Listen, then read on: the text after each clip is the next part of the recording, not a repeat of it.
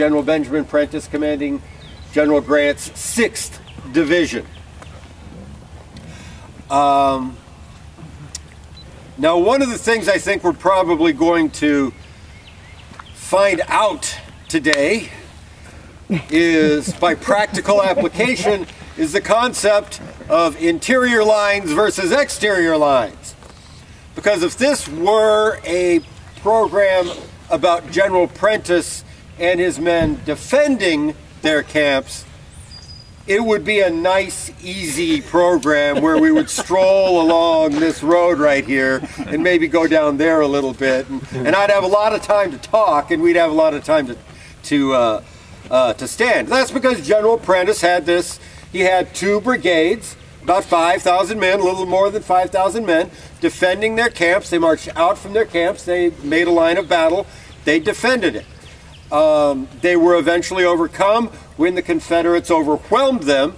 Uh, the Confederates attacked this position, uh, position defended by two brigades, attacked with uh, one, two, three, four, five, five brigades um, in line of battle with two in support.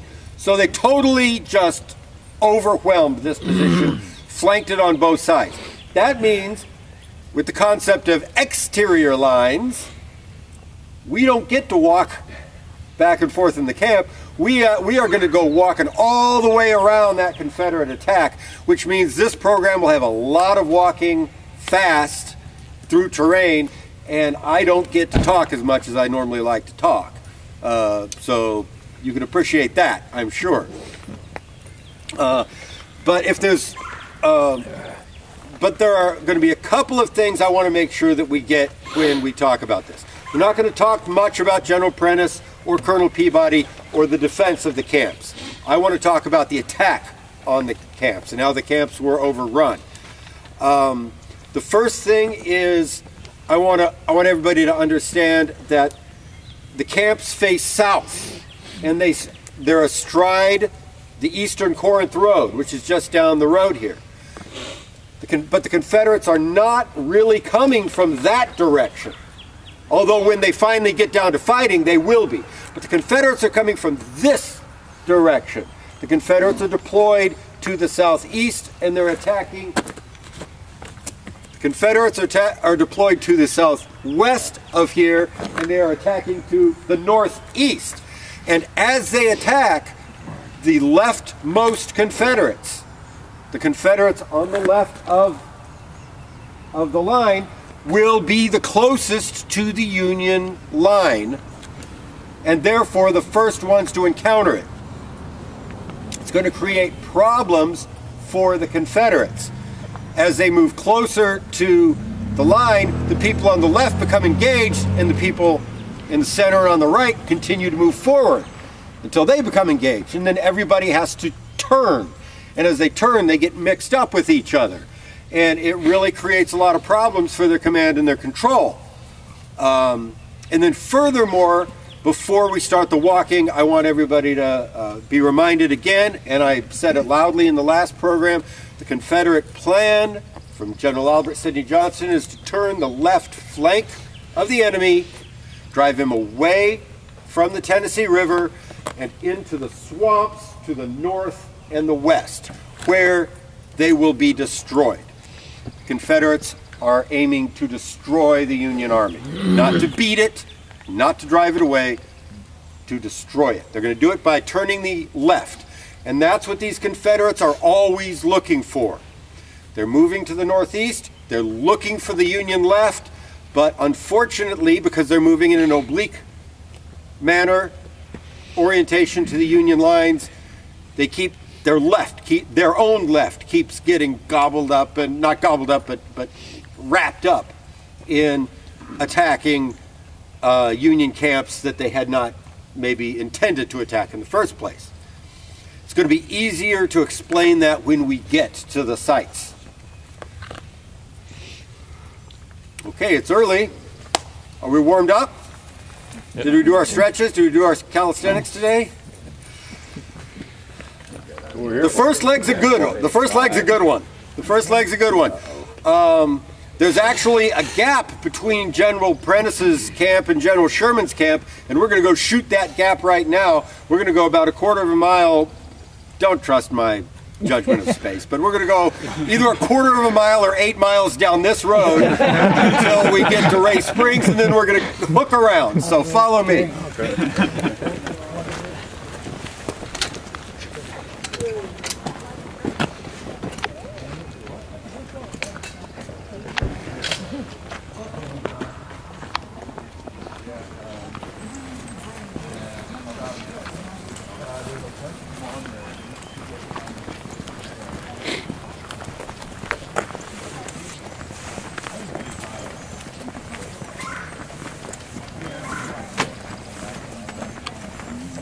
General Prentiss's division and General Sherman's division.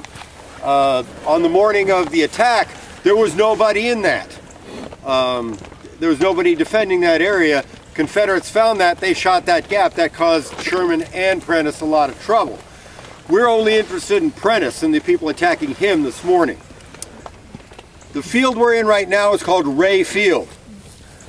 This is one of the fields here at Shiloh that is the least like it was historically now.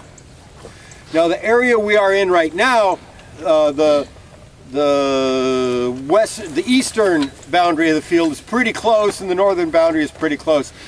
The uh, western boundary is not right. It was open all the way down to the creek, um, and it's, got a good 50 yards at least from that tree line down to the creek. But most importantly, to the south, to the south, this field, long, narrow field stretched a full mile to the south. You could see all the way down to Seay Field, where we, if, if you were on the earlier, the 5 a.m. hike, the field where we ended that hike, you could have seen almost that far. On the hill over here, a Union battery, Waterhouse's battery. And on the hill over there, another Union battery, Barrett's battery. We can't see them from here. But on the day of the battle, they could see all the way down that bowling alley. And as the Confederates crossed the field, going from uh, southwest. southwest to northeast, thank you. Uh, going from southwest to northeast, they could shoot artillery straight down that bowling alley and knock over the Confederates like 10 pins as they were crossing the field. And the Confederate brigade that was crossing that field was a brigade of S.A.M. Wood, General Sam Wood. The same men who had begun the fight in Fraley Field at, uh, at uh, 4.55 in the morning. So as Wood goes across the field, he's taken in the flank by this artillery fire. It causes some casualties, and some disorganization, but his men push forward, especially in his left.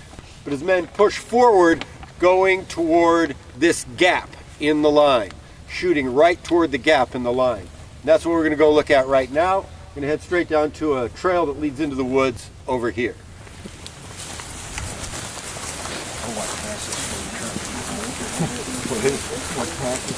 This is a tablet interpreting the advance of General Wood's brigade that we just talked about in the field. And his left flank would have been out in that field, crossing that field. As the tablet says, um, the right of the brigade um, engaged with infantry under Prentiss, while the left was fired upon by Waterhouse's battery.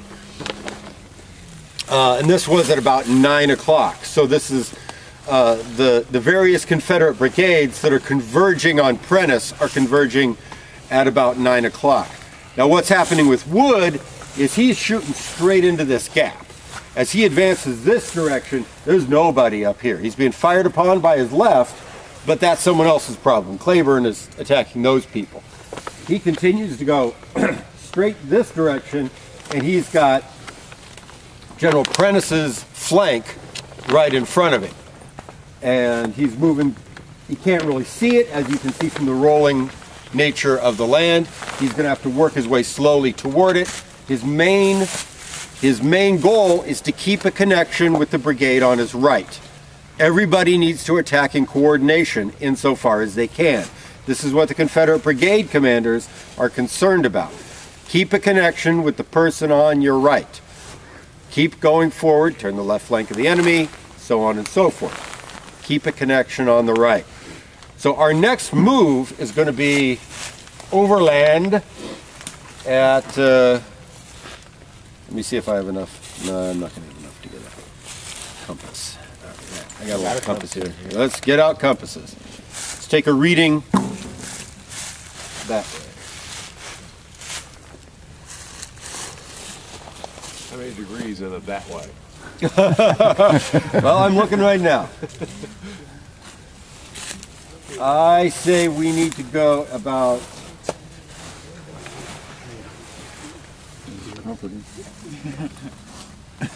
Union line of battle, which is on the next rise. And you can see the backside of a blue tablet there, and they are facing south. So Wood's brigade is in a good position to flank these guys and flank their position. Unfortunately, he's not thinking about that. He's thinking about keeping a connection with the rest of the line, with Shaver's brigade, which is right up here. We're going to talk about that in a minute. But so what happens with Wood's brigade? Instead of taking, um, instead of taking Prentiss's line, Peabody's line in flank, he marches in between the two lines of battle.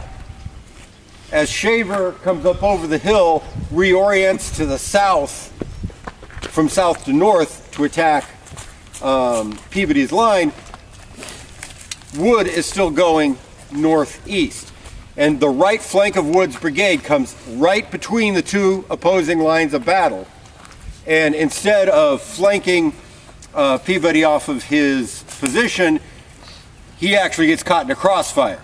When those Confederates get caught in a crossfire, the right wing of Wood's brigade panics, they break, and then they fall back and they generally run this way toward Shaver's brigade. Then they catch Shaver's brigade, they just run into them. That causes a panic in Shaver's brigade, and both of them, both brigades, go tumbling back down this side of the hill where they have to stop and reform and get re uh, reform and reorganize, and then now attack going due north. Let's come back and look at Shaver's tablet real quick. Let's also clear the road so our drivers can get through.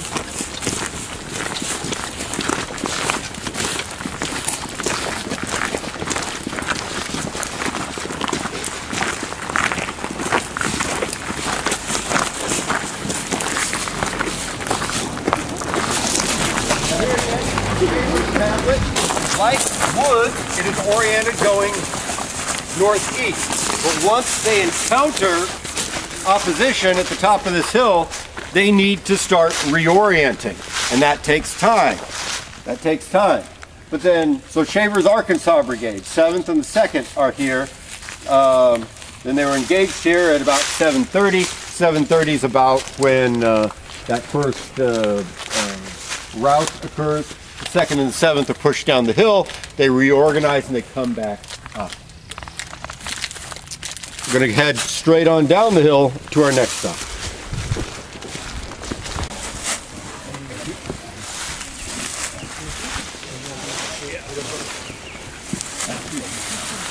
I just want to hold everybody's hand. We had to have a battle at all. You're fine if I didn't come down here. I have nothing to talk about. politics, we're trying to figure it out. That'd be five years. a tablet that we don't often stop at. I'm so happy about it.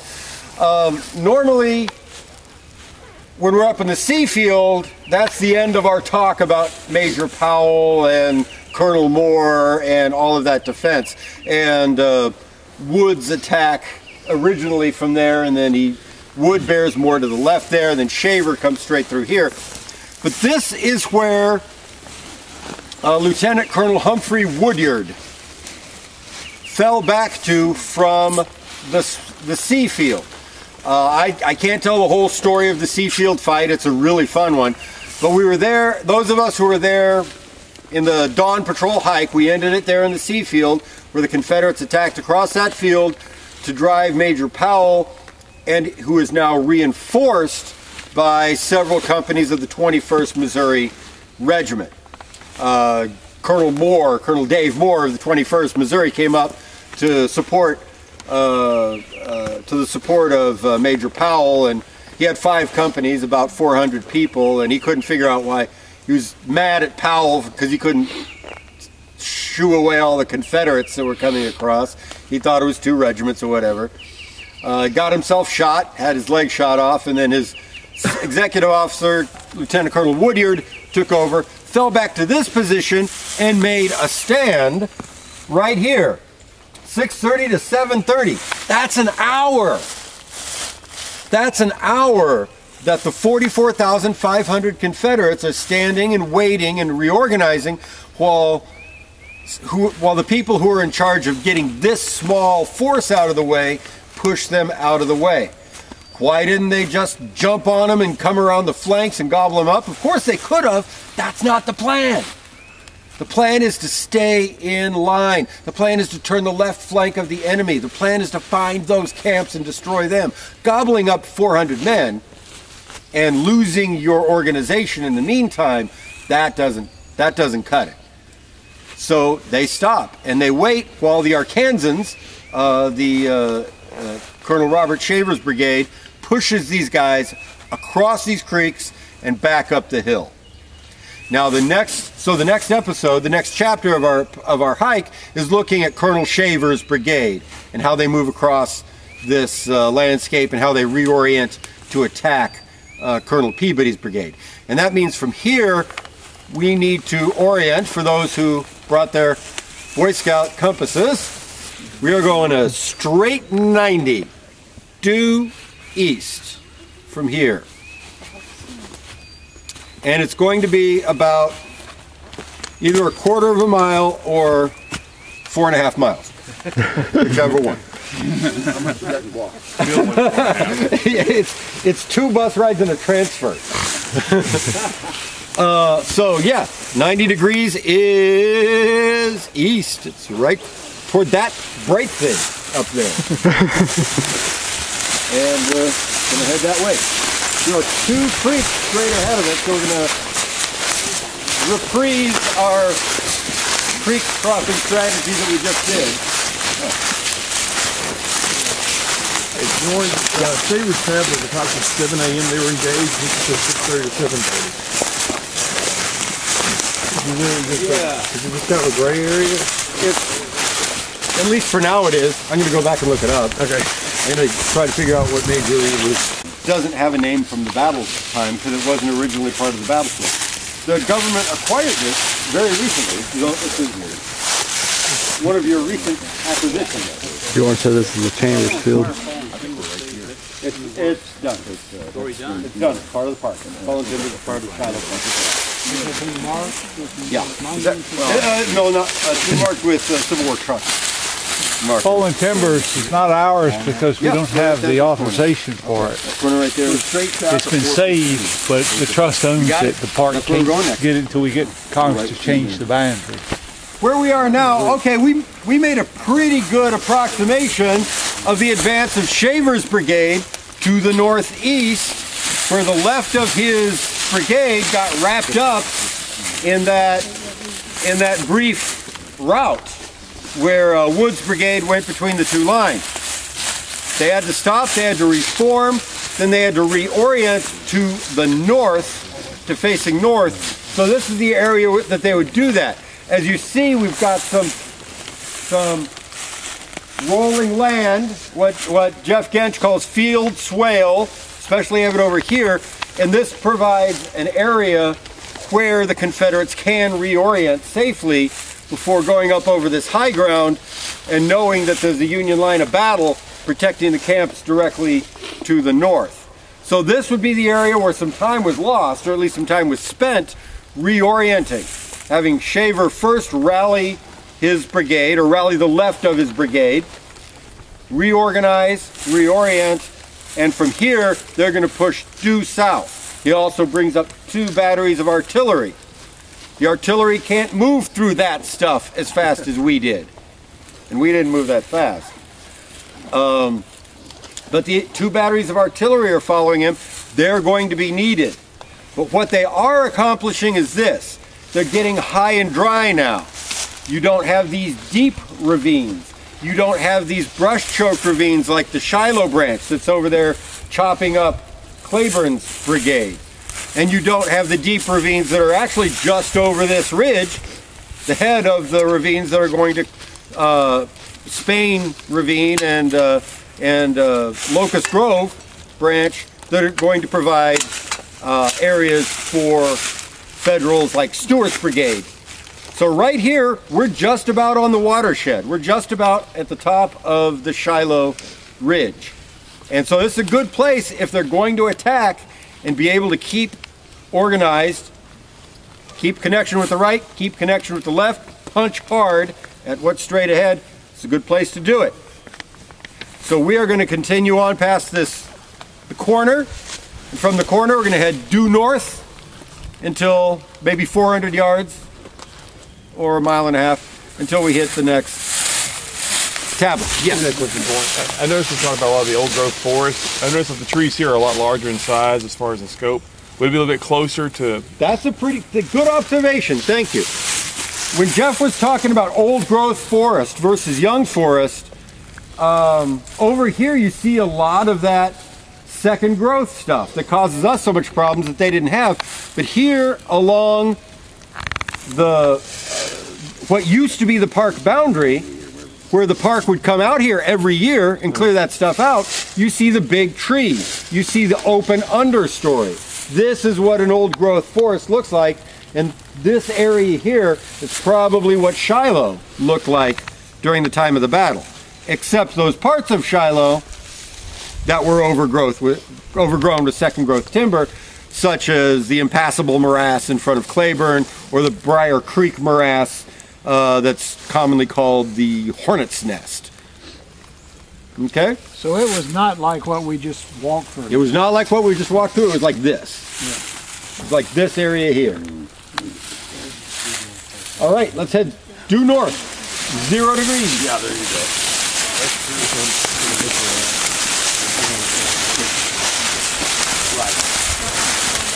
Reach Shaver's Brigade making its attack, and we do have good text here that Major Reed left us, uh, giving us the time. By about 8 o'clock, um, he's able to uh, launch a full attack on um, on Peabody's line. The 21st Missouri, the 12th Michigan Regiment, uh, the 25th Missouri over here on the west.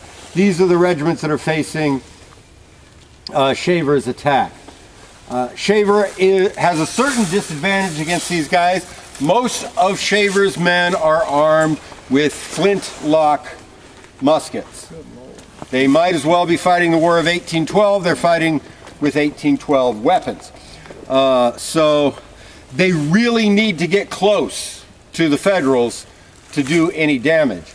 And indeed, uh, Colonel, I think it's Colonel Shaver, it might be Colonel Marmaduke, uh, comments in his report is very demoralizing to our soldiers to be under the fire of the enemy and knowing that their fire is not having any effect.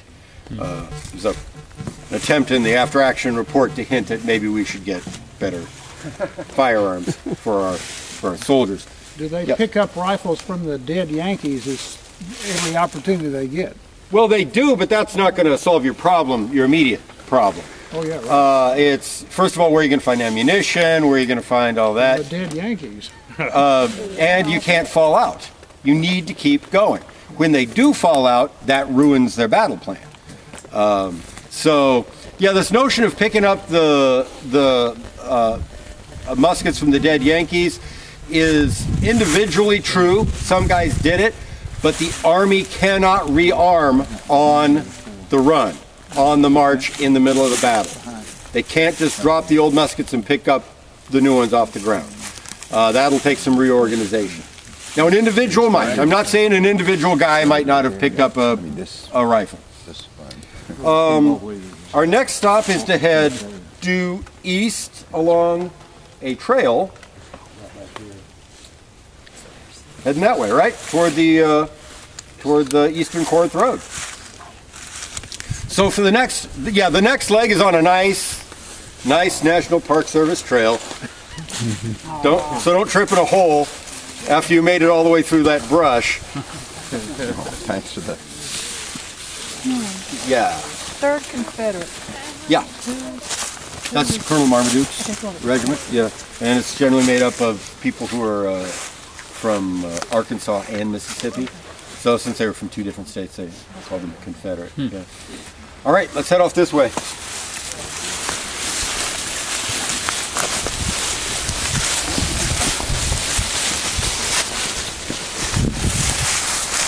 This problem, he's got uh, his his muskets are not up to standard. The enemy's muskets can hit him, and he cannot hit them. But here is a solution. Two batteries of artillery. Harper's battery, four guns. Swett's battery, six guns. There's a tablet up here we're going to pass. He can now, once the artillery gets up, he can bring this field artillery right into the front line. And at this point, we're in fairly short range.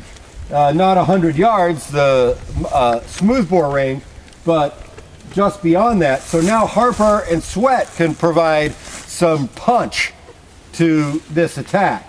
And they can start shooting exploding ordnance. They can even shoot uh, uh, some canister. That will do some damage down there. And uh, that starts to that starts to damage that Union line. That starts to damage Peabody's line. But the other solution to Shaver's problem was the solution that the Confederates had assumed they were going to use in the first place.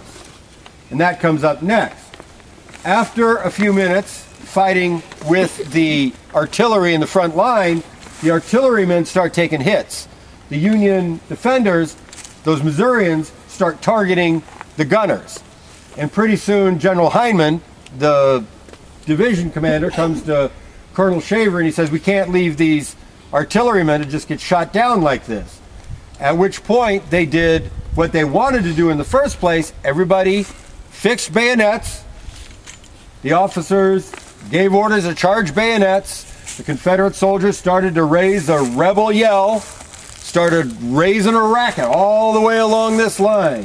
1,500 men uh, yipping and howling and doing that rebel yell, and then they turned them loose and they charged, charged bayonets against that Union line.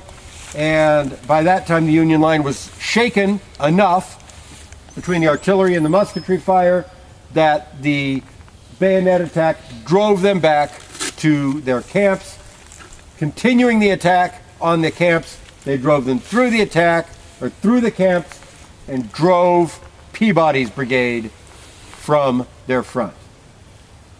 In this, they had assistance from Wood's brigade, reformed on the left, and the artillery before they made their charge. And that finally clears Shaver's front and drives Colonel Peabody and his Federals from their camp. Let's continue on down to Eastern Corinth Road. Where We're going to talk about the attack on Colonel Miller's camp.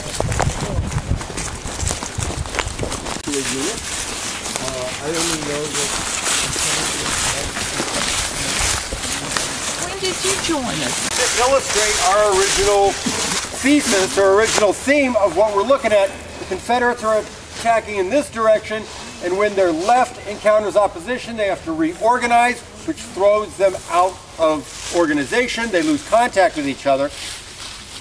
Here we have Shaver's brigade has managed to get oriented and go north, but in order to do that, they crowded out some regiments of the next brigade. The next brigade in line is General Adley Gladden's brigade of Alabama and Louisiana troops. So Gladden is lacking behind. He has further to go before he encounters enemy opposition. This permits the 16th Wisconsin Regiment to advance 16 rods, no, 80 rods, I should say. I remember that. From, I think I remember that right. From their original line of battle, they take a position here, and they can fire into the flank of Shaver's brigade. Uh, that cre- that created some problems for Shaver initially, uh, but once once Gladden came onto the field and the 16th was oriented in this direction, they had a heavy Confederate force on their flank. Colonel Allen ordered the 16th to withdraw back to their color line, which they did in good order. And then they defended that in the final attack against the color line. But because of the confusion caused by the oblique relationship of the Confederate attack to the Union defenders, the 16th was for a time able to cause Shaver a lot of problems by getting on their flank. Did they change front? Because this flag indicates they were facing. That they're facing that they're facing south. Uh, so the Shaver, Shaver's coming up. right. The reports indicate that they, that they are. Well, the reports indicate that they changed front to the west, and they indicate that Shaver does not extend this far.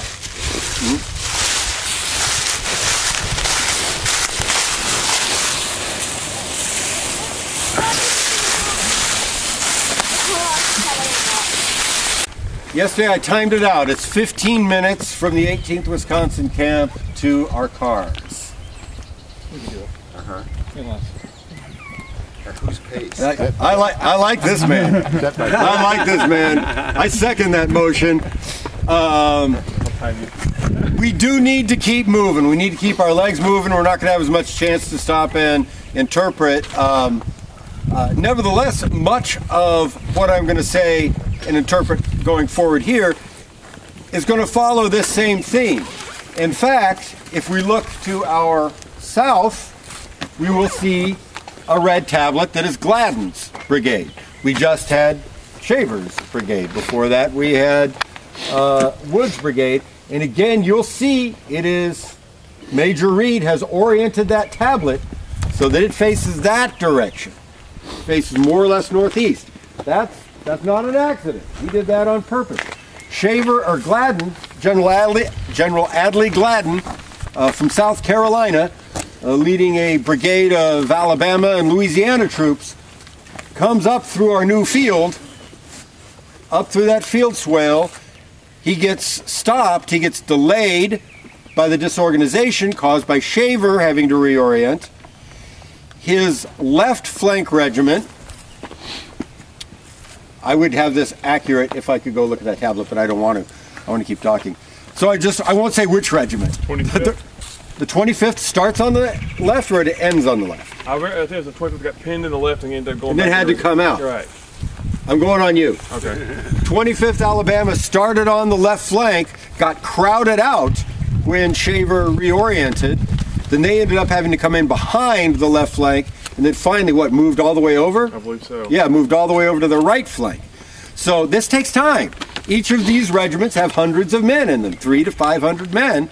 And so saying got squeezed out of the line meant that several hundred men have to reorganize and change into a different formation and then march around behind while the rest of the brigade waits and then take a new position and fall into line and get organized on the other end of the line. That takes time. And all the while that's happening, Shaver's getting chopped up over here. Of course, Shaver and Hindman managed to solve their own problems by bringing their artillery forward. But eventually, Gladden gets his men organized. They come in through here. Now they encounter Union opposition. These two batteries here, Munch's battery of uh, Minnesota, First Minnesota, and uh, Hickenlooper's Fifth Ohio battery, and now they need to reorient. And so they reorient from going northeast to going north, and then deploying into a ravine that's up over here. It's going to be much easier to see if we walk over there. So follow me. We're going to go into Spainfield.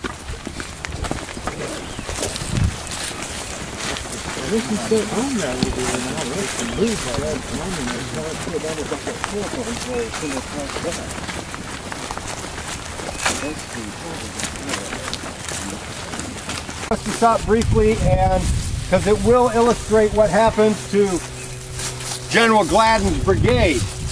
Uh, we're going to have to interpret this. Uh, we're going to have to interpret this Confederate attack from the Yankee point of view because you don't own that land over there; someone else does. Um, but once Gladden gets reorganized, he can reorganize in this ravine. You see that ravine?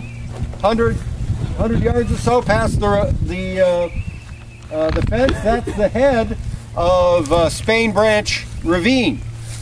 And the Federals can defend this position um, from the top of this ravine. They have a good field of fire, but it also provides Gladden an opportunity to reorganize and reorient his brigade down there. And they attack straight up here. Here's the 18th Missouri Regiment from Colonel Madison Miller's brigade. Down there is the 61st Illinois Regiment. We're not going to go there. We're going to save a little time by cutting them out.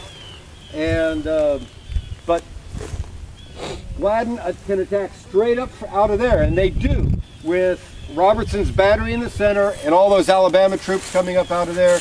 And they encounter devastating fire. They encounter devastating fire from these two infantry regiments and from those two artillery batteries astride the road. General Gladden is mortally wounded by, by a shell explodes and a piece of shrapnel strikes him in the shoulder, right, left. I'm looking at you. Oh. Um, Uh, he's right, I think it's right, yeah. right shoulder, and uh, his staff officer said it looked like his right shoulder looked like a uh, a big mess of meat and bone, just blood and meat and bone, totally smashed his shoulder. Um, asked asked the general if he was hurt, and the general's famous reply was, "Yes, and I fear it is a serious hurt." um, and indeed, uh, uh, General Adley Gladden was mortally wounded from that. He had to be taken to the rear. Uh, he was taken back to Corinth, where he died uh, within a few days of the battle. General Daniel Adams took over command of the brigade and continued the attack. Um, it was a very bloody attack for these attacking Confederates. They're coming straight into uh, a well-prepared position. And as they come up out of that ravine, they have to fight right in here. That's close range with the 18th Missouri and the 61st Illinois uh, stationed here and ready to fight. They eventually drive them back, although Colonel Miller says, I ordered them back. But the Federals eventually fall back to the other side of Spainfield, make another stand, and Gladden's brigade continues to attack straight into this, uh, uh, straight into this fire and across the main Spainfield. This is one of the bloodiest engagements of the battle for any one brigade. Um, Gladden's brigade, which is, it was the garrison of Mobile, well-trained soldiers. They'd been in service more than a year. These are Confederate soldiers that have good uniforms. These are Confederate soldiers that have lots of training and good muskets, and they just get devastated, decimated in this attack across Spain Field. By the end of the day, this brigade started with about 2,000, 2,500 men. I don't know the exact number, but you might. um, but I don't want to put you on the No, on the spot. Um, about 2,500 men, and when they attempt to participate in the attack on Dill Branch Ravine at 5 o'clock, 225 are still in the ranks. This is a devastating attack on Gladden's brigade. Okay, let's cut the corner here and head straight for that trail coming out of the forest.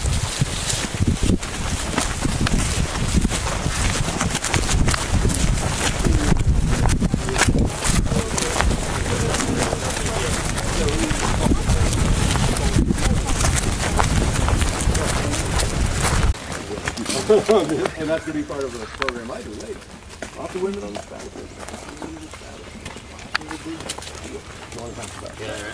And and race. Uh, both lots of African American people in, you know, with both armies. So any number of topics we can do. Yeah. Here we have the the monument for the 61st um, Illinois.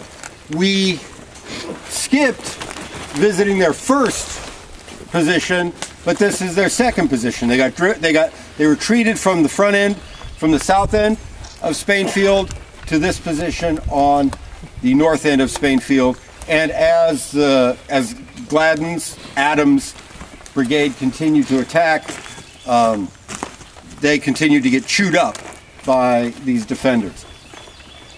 If you look through the woods here and behind me, you're going to start seeing an area that uh, recently benefited from a, uh controlled burn. The park was able to burn this area off. Uh, either, I don't know exactly when they did it. If someone lives around here that knows when they did the burn, uh, About this three or four winter, weeks ago, about three or four weeks ago. Yeah. And so now you've got a real benefit, and part of the park that was too overgrown to interpret before and really understand is now much much more wide open. You know, you can see you've got much better view shed now, and it looks a little bit more like that old growth forest that uh, the battle occurred in. Let's continue. Uh, again, we're going to briefly interpret from the Yankee point of view because this is a considerable problem for Prentiss's division. Um, Prentiss's division, it's called the 6th Division. We call it Prentiss's Division, but it's not a division. It's a division that's just coming together.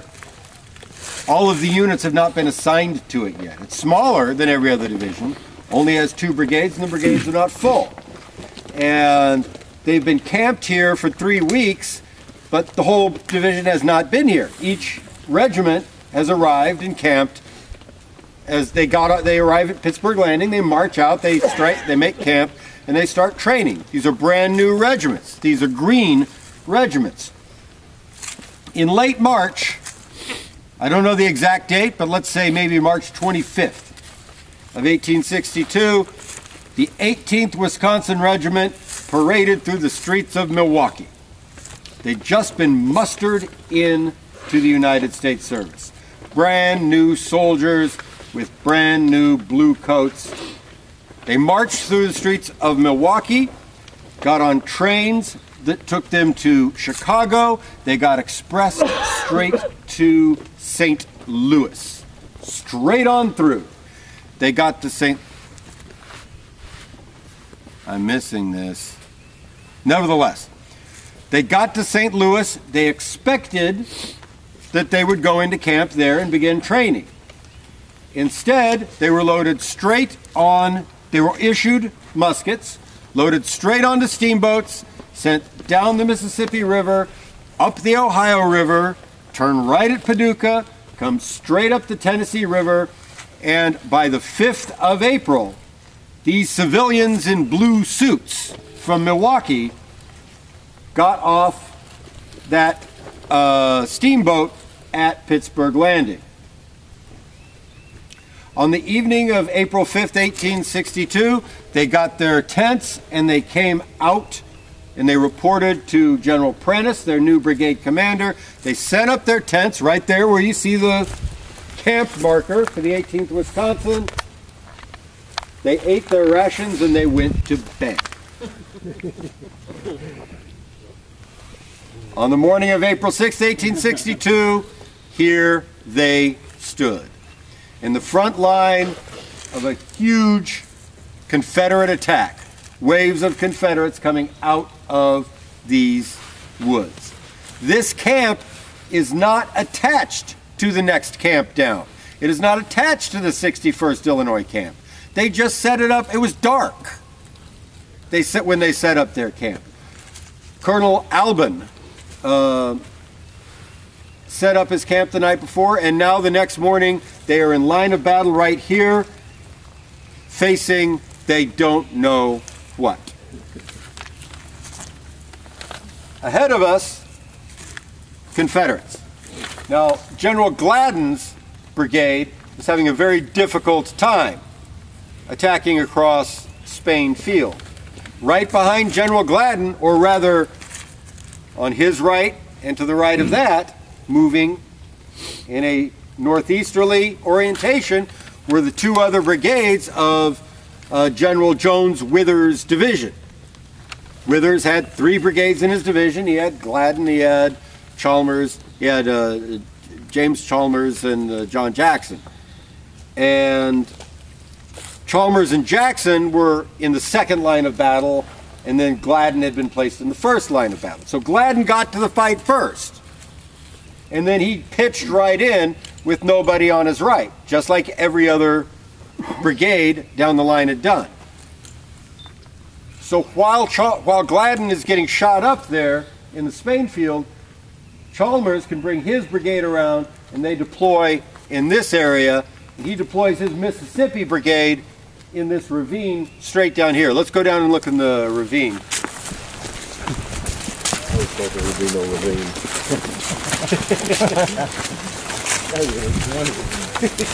ravine.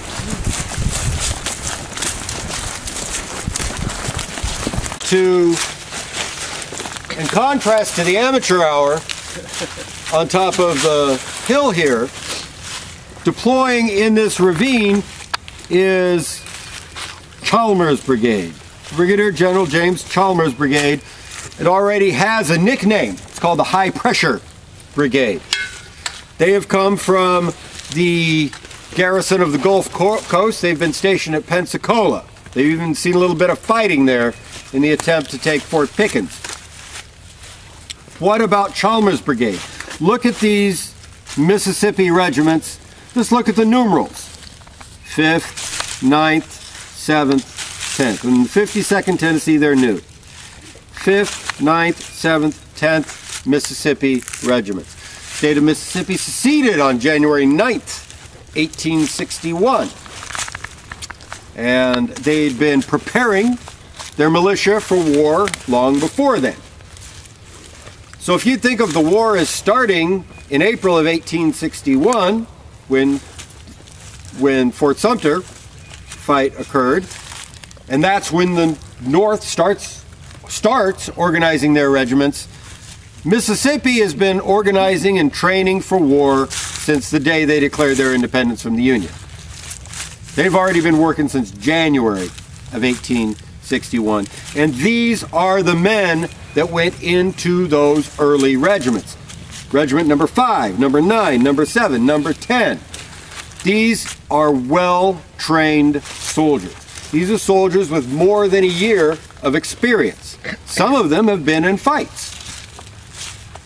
They've been serving under General Braxton Bragg, who is widely considered the finest organizing mind in the Confederate Army. They're good. They've even managed to land. Uh, uh, they've even managed to land. Many of them have managed to be rearmed with um, Enfield rifle muskets brought in through the blockade. They were some of the first men to get Enfields in Johnston's army. So, when the battle starts with the 18th Wisconsin, the 18th Wisconsin is up here deployed in front of their tents.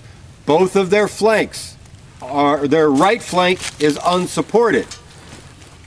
On their left flank is the 15th Michigan Regiment. We're going to talk about them in a minute, but for reasons that we will talk about in a minute, they do not remain in their position. So the 15th falls back. We're going to talk about that in a minute. But now the 18th, a big regiment, maybe eight or 900 men, facing a full brigade of highly trained Confederates. The Confederates get around the flanks. Colonel Alban starts getting fire coming from both of his flanks. His men start getting cutting, start getting cut down from the right and from the left. In the ravine in front, General Chalmers F uh, brings his troops up to the lip of the ravine, or basically to this position. That's why the tablet is here. Takes them under fire. This is close range fire, and they just start chewing up that green Wisconsin regiment. Finally, after a period of preparation, a period of uh, firefight, General Chalmers issues orders for the brigade to attack. Now, if you read this text here, this is good text that, that Major Reed has uh, written for us. Um, although it is easy to read the primary sources and interpret it differently. The latest thinking from historian Tim Smith uh, who is preparing a book on Shiloh for publication in the fall, is counter to what you read here. Um, General uh, or Major Reed was convinced that three regiments, the 10th, the 7th, and the 9th, raised up the rebel, rebel yell and made an assault. Um, historian Smith is of the opinion that the primary sources, the reports of the officers and letters and diaries, show that the 10th Mississippi alone made the charge. The 7th and the 9th got the order to charge, but were not able to charge in time. And then the 5th and the 52nd never got their orders at all. That's why history's fun. You can continue to continue to look at the primary sources and change your mind. Um, nevertheless, what happened after this preparatory firefight, the Confederates raised the rebel yell and they charged upon the 18th Wisconsin, and the 18th Wisconsin fell apart. They fell apart, and the men fled to the rear. And the Confederates now had the ability to shoot at them in the back as they ran without getting shot at themselves. The casualties in the 18th Wisconsin were devastating. That new regiment, with about a with a less than a month of service, was shot to pieces, and those men were stacked up in their camp. Hundreds more were captured and taken to the rear. Went straight from Milwaukee to Southern prison camps with heart, with only one night actually on duty. and with that, Chalmers Brigade overruns the 18th Wisconsin. They then receive orders to stop. They are not to pursue, they stop. Why? We're going to find out at the next stop.